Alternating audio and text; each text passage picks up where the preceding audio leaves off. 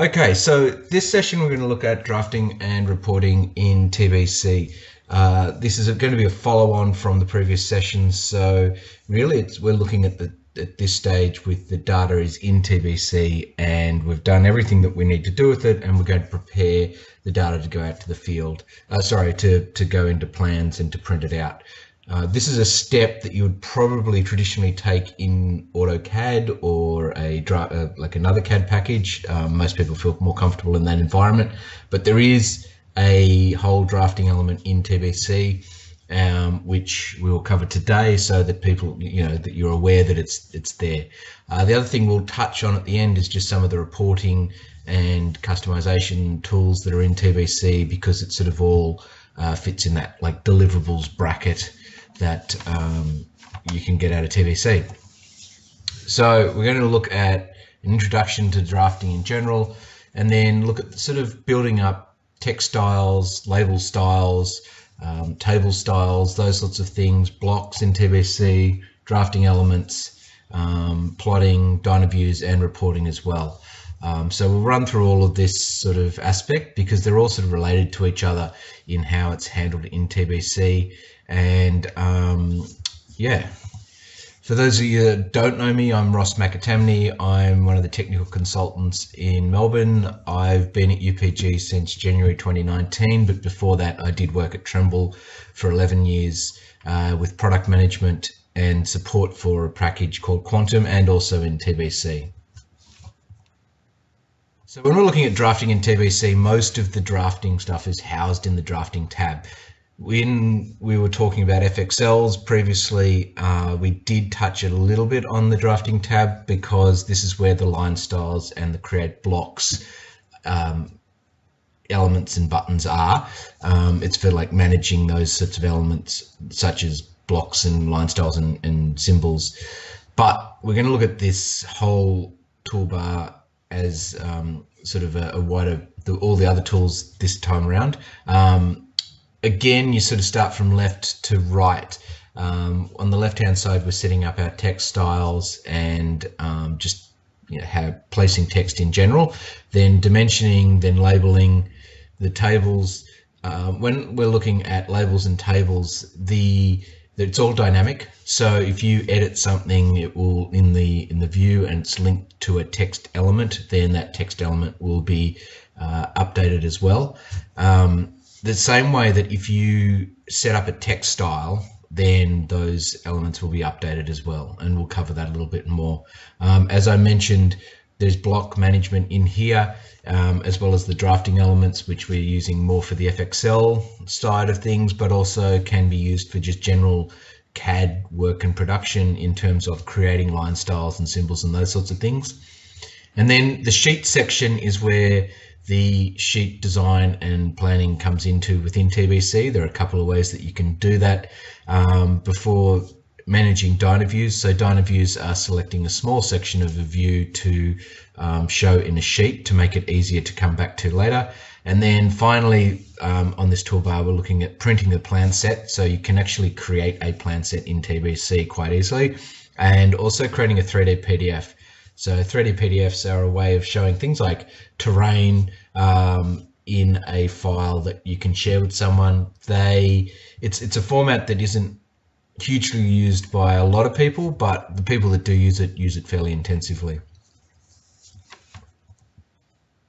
So the first thing that you would look at in TBC is text. Um, it's a very basic element. The text um, entry button on the very left hand side of that drafting toolbar is just for placing a, a, a static piece of text essentially um, like a title or a label or a something that has no relationship to anything else so that very first button there on the left is just for placing the text the text style manager is the button that we look to create different types of text styles. So in TBC, when you're looking at the text style manager, you are creating a, a text style for a specific application. And you can have numerous text styles.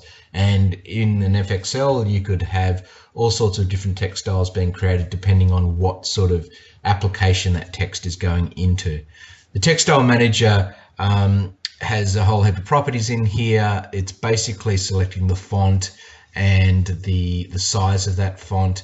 Again, we do have the ground and sheet units. So ground units will be a one-to-one representation against the distance on the ground, whereas a sheet unit will have a scale factor applied to it. So all of that is handled within TBC.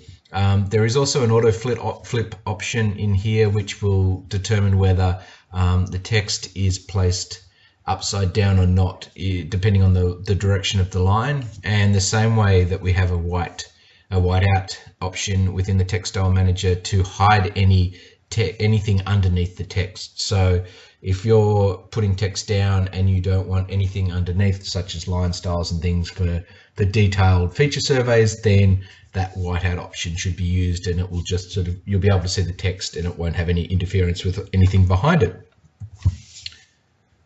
So when we're looking at the text tools, um, the auto flip, as I mentioned, we'll flip that um, text from right way up, or sorry, from upside down to right way up um, automatically for everything that uses that text. You can do that manually in, in the properties when you select that text element as well. So um, if you don't want to do that as a global setting, you can do that as an individual setting.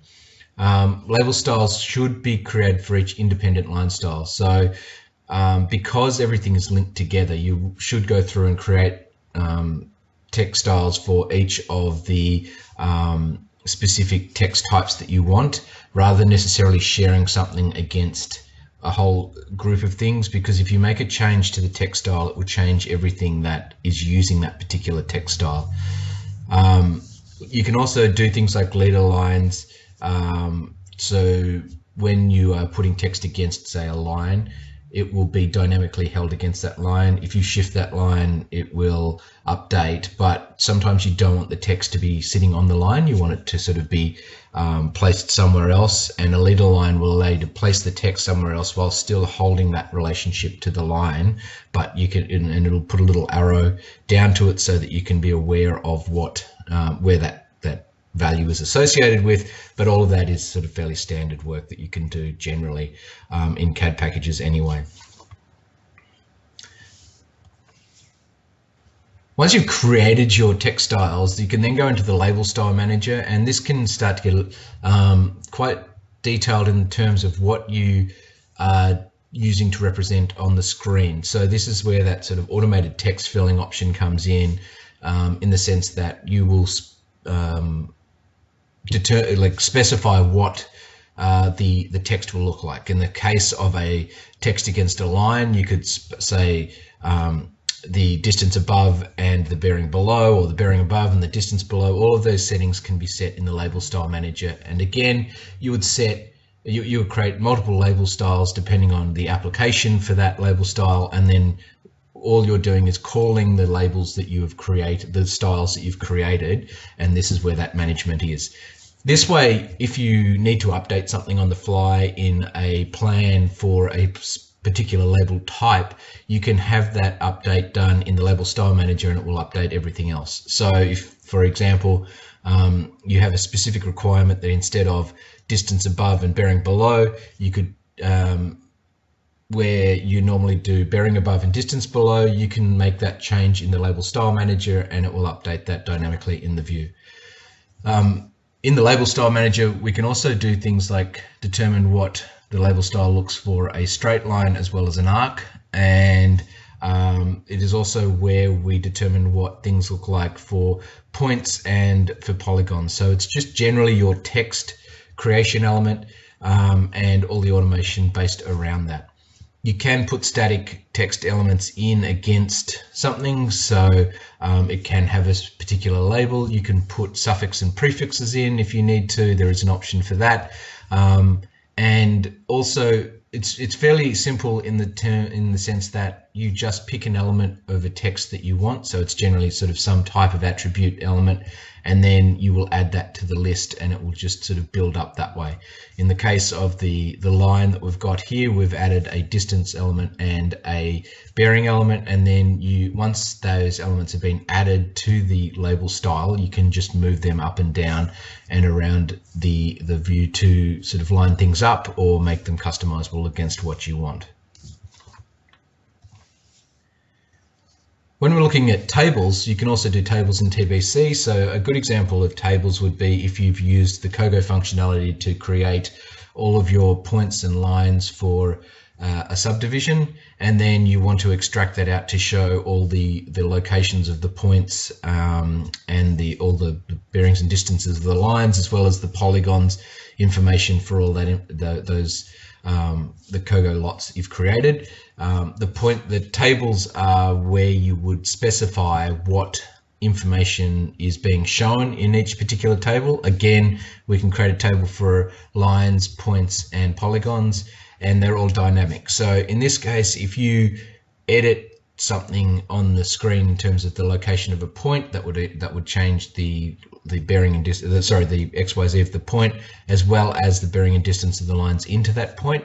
All of that will be updated in the tables. So you don't have to manually go and do that again or rewrite them or, or do any of that. This is it's, it's all tbc is designed to be all dynamic. Again when you are creating the tables like the lines, sorry, like the label styles, you just select the elements that you want to add into that table and it will just expand that table out and then fill that out with the, um, once you've selected the, the points or the lines that you want to enter into it. So it becomes quite easy to create these um, styles for text and tables um, and for labels in the, these managers so that you can just apply them into TBC and have everything tied together. The other tools um, that you can create, as I mentioned, there's the create text block.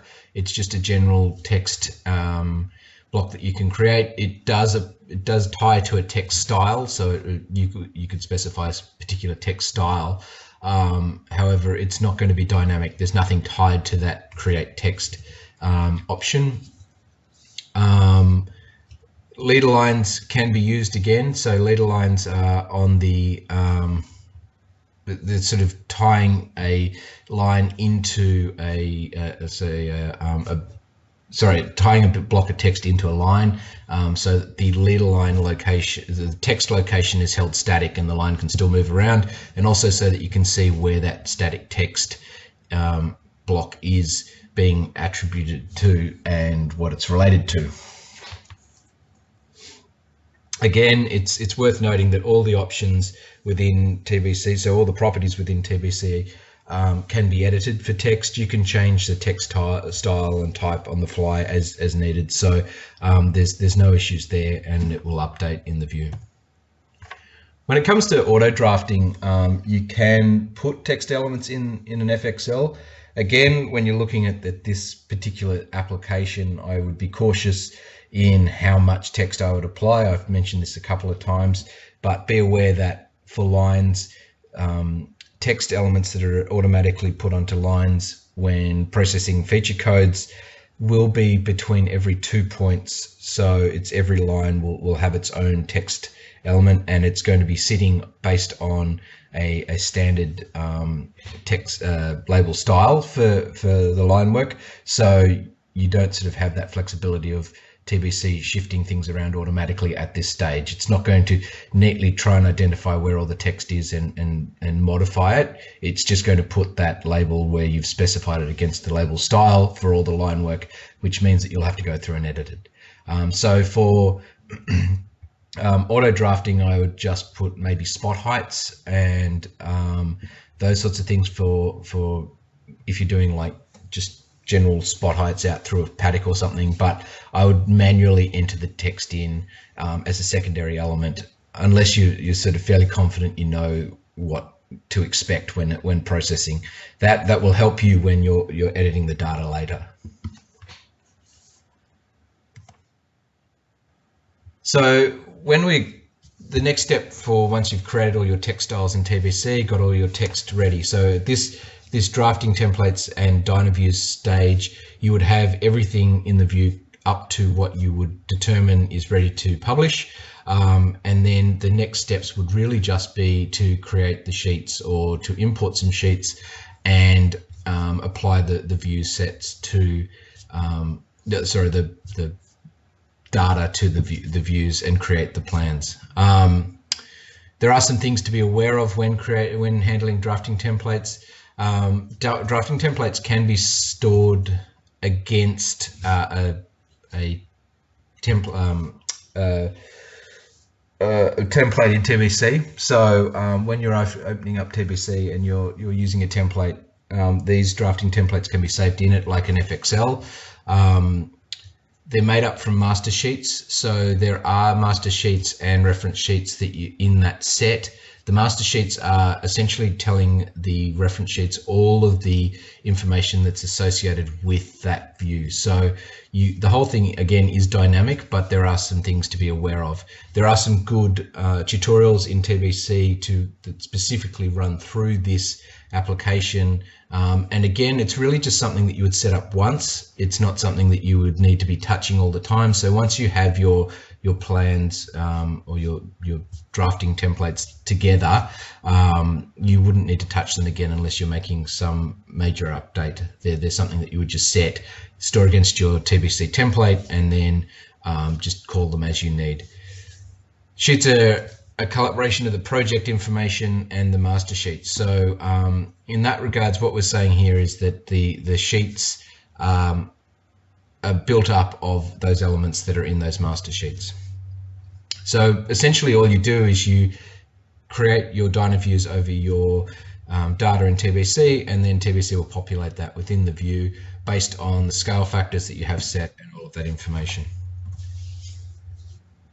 Um, sheets can be created in TBC uh, automatically as well. So when we're dealing with um, sheets in TBC, you can create uh, a sheet set and a sheet set will allow you to specify essentially a grid over your data, which will um, automatically create those um, views for the sheet sets and then publish that information collectively. Now, if you're going towards something like um, creating corridors and things like that, sheet sets can actually become quite detailed in giving you all the templates, the profiles, and the um, plan views all in one collaborated effort from all the data. So it's not a case of you having to go and update um, all the create individual sheets for each bit of data. You would have you would you would simply then just do a create sheet set and it would know what data to pull and put into those sheets.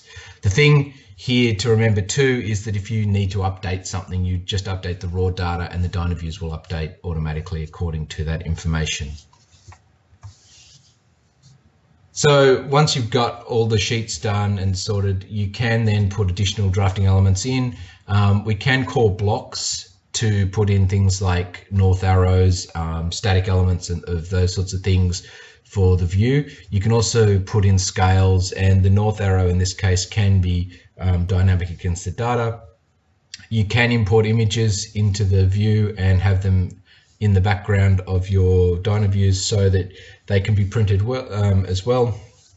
And um, hatching um, can be done in the uh, drafting tab as well. So if you want to hatch through um, an, an, object, then we can do that and that will allow you to give that sort of solid block color option. So the, the basic set of steps for creating a drafting set in TBC are to import the um, sheet set into TBC, make the edits to the pro formas as needed, and rebuild those sheet sets. So one of the things to remember in TBC is once you've made these edits into the the um, the sheet sets, it's you need to rebuild them to make sure that all those elements are updated in the view. Then you create your sheet set based on the, the options in TBC. Um, and then in that, you can either manually create, uh, call a manually created Dynaview or have that automated Dynaview creation specified. Um, in that Dynaview view, you specify the, um, the size of the Dynaview, the plot scale, the number of columns and rows, the overlap, and the origin. Now, if you want to create um, you don't have to use multiple sheets. If you're just doing one sheet, then this, this can be used just to do that. It's just the easiest way of doing this in TBC and running through this process. Once you've done that, um, you can specify things like the layers that are going to be going into that um, into that uh, print out or the plot. So just be aware you you can specify and uh, you can create a layer view group set in TBC, which will allow you to um, specify a subset of the data. You don't need to put all of the data or you don't need to delete data out. There is a layer group set that you could create that just says, I just want these particular layers to be shown. And that's what will be um, shown in the plot set. You can put grid lines over it. Uh, if you want to, that's that's part of the settings. Um, and then uh, the offsets for the Dynaview. So where the Dynaview sits within your uh, your um, view, you can specify where that Dynaview sits in the um, the actual sheet itself, or the template that you've got. And then you create any blocks and those sorts of things and print to PDF essentially. So running through these steps is sort of how you do it in TBC. Um, the setup work like the FXL and the um, basic templates in TBC can take a little bit of time, but once you have your sheet set, your, your blank sheet set set up, this process of putting the data into those sheet sets is actually quite quick and easy and it's simple to do and you can quite quickly just create a PDF or um, print them out to plan if, if, you, if you need to. So moving along, the other thing that you can get out of TBC is reports. So TBC is built on a detailed reporting system for all elements in TBC. Reports can be um, linked back to data within TBC as well. So when you generate a report, you will find that where possible, there is a, a link. So in this point derivations report that I have here, there is a blue link on the left-hand side, and that blue link is essentially what you would select to go back to what that point is that it's referring to. So there is that relationship between the report um, and the data in TBC, as long as TBC is open, of course. Um, the reports can be uh, detailed. They generally can be found in all the tabs that are related to that particular report. So you can find that there or in the quick access toolbar at the top. There is a whole heap of reports that are listed there that you can find um, we list the top 10 most common reports, and then if you go into more reports, you'll see that quite extensive list of reports that are available all through TBC. Within this report list, we do have some regionalized custom reports that do get shipped with TBC. They are built by um, UPG. So if you, there are some reports in there, if you want more information about that, we are looking to hold a session next month um, where we will run through what our, our localized reports are, but there are localized reports. And if you need more information about that, just either contact us or, or come to the session. Um, the other thing with regards to the, the reports that are um, generated in TBCs, they can be copied and pasted. So data in TBC can be copied out and pasted into, say, Excel spreadsheets and things like that. There is that dynamic link as well. So when I'm talking about that dynamic link, I'm mostly looking at those point spreadsheets or the optical spreadsheet. That information can be copied and pasted into um, Excel, and that will allow you to see that data in Excel and manage it that way in an external um, package if you wanted to do that. Um, this gives you that flexibility. Sometimes it's easier to manage things in Excel. It also gives you the flexibility of being able to customize a report or do calculations further um, in another package rather than having to do them in TV, TBC. Again, with all of this information, um, you, you, don't need to worry and it doesn't all have to be done in TBC. If you feel more comfortable running reports or doing um, drafting in another package, it's worthwhile going out to one of our supported formats, which would then go into those packages and you could use it then. The TBC also has a custom report um, tool, which when you run it, it will allow you to set up some custom reports based on some templates that we have. So essentially, it will open up Word, and there are a whole heap of options within Word to allow you to create custom reports, modify, um, insert data, um, sort of blocks into a, a template report, and then you can save that report and populate the data into that. There is a, again, there is a good tutorial based on this in on the tutorials tab at TBC in that, that official tutorials there, um, but we're also um, happy to run through creating custom reports if you want. Another thing you can do is you can reach out to UPG or SITECH um, and ask uh, about specific report applications and we can look at um, working with you to generate uh, a specific report need if needed.